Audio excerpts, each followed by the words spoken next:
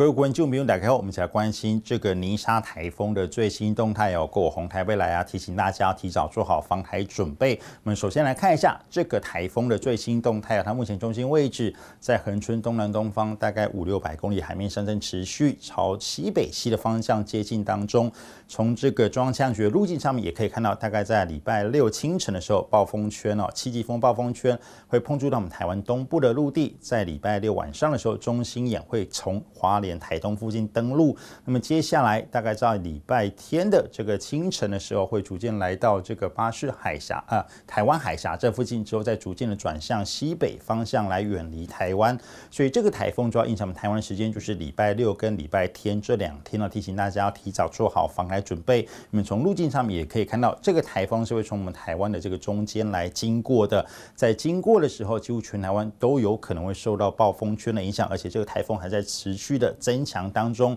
不排除它的暴风圈还会变大，那么中心气压还会更低，强度还会更强啊，所以提醒大家要特别提高警觉。我们来看一下这个卫星云图上面可以看到这个台风的结构哦，它是一个北边的这个水汽量稍微比较少一点，南部水汽啊南边的水水汽量是比较多的这样子的一个状态。那么除此之外，特别注意的是这边呢，南海北边有一个热带性低气压，那么在这整个台风到热带性低气压附近，这边是一一个。很大的一个低压的环流，北边的话是太平洋高压所以北边的水汽是比较稍微相对来说比较少一点点。那么可以来看到这个台风除了本身的影响之外，要特别注意的就是当台风逐渐通过之后，可能会有西南季风、西南气流对我们台湾造成持续的降雨。所以礼拜六、礼拜天这两天是台风主要影响的时间。礼拜一之后，台风逐渐通过，可以看到还是有西南风带一些南边的水汽，我们台湾附近。尤其是中南部跟东南部可能会有比较明显的这个降雨的啊，这个期的情况，可能还是我持续性的这个雨势，所以提醒大家还是要特别的留意。那么接下来我们来看一下。再拉近一点来看的话，随着台风逐渐接近，可以看到在礼拜六的时候，随着台风逐渐接近，暴风圈碰触到我们台湾的陆地之后，东半部地区就会陆陆续续有比较明显的风雨出现。当台风通过台湾来到我们台湾的中部的这个，或是从我们中部逐啊附近逐渐出海的时候，我们的中南部会转变成这个迎风面，也会有比较明显的雨势。那么接下来我们来看一下。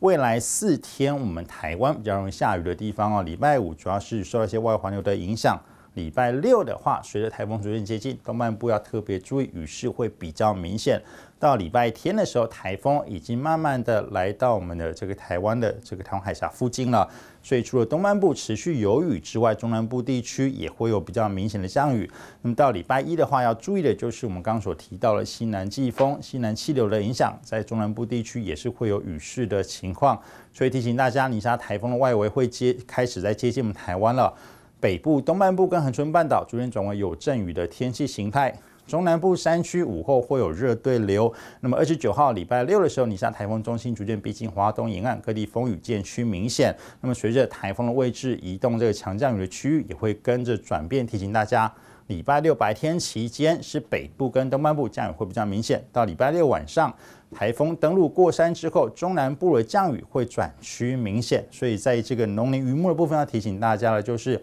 可以采收。或是已届收获期的蔬菜跟水果要赶快采收哦，因为就是高平地区有部分啊正值产期的瓜果、豆菜类蔬果是比较容易啊这个发生病啊这个病虫害，所以在台风来临之前，应该要把握这个时机来进行预防性的施药。全台二期稻作的这个育秧工作要持续进行，大雨来临前可以上一层这个铺上布织布哦，那么雨后天晴的时候要尽速翻开这个布织布。那么中部以及东部地区的稻作已经陆续进入插秧期了，已经完成这个插秧的这个水田呢，可以淹水到秧苗叶间来减少强风对植株的影响。那么海面上作业的船只的话，要特别注意，要赶快收听台风的最新动态。同时跟各个地区的渔业电台保持密切的这个联系哦，所以要提醒大家啊，在这个台风接近的时候，有很多事情都是要做的。那么另外在你查台风的影响时间啊，要特别注意的农作物跟这个区域范围，要提醒大家要特别注意的就是有高风险区的是在。花莲、台东跟高平地区，那么同时要注意的这个蔬果类，包含释迦、香蕉等这样子的蔬果都要特别的当心。那么台中山区是梨子跟柿子，在彰化、云林、嘉义跟台南哦，要特别注意的是二期稻作、木瓜、香蕉、竹笋跟碰柑哦，都要特别注意。所以这是台风来啊，预计可能全台湾都有机会会在暴风圈的笼罩范围之内，提醒大家要提早做好准备。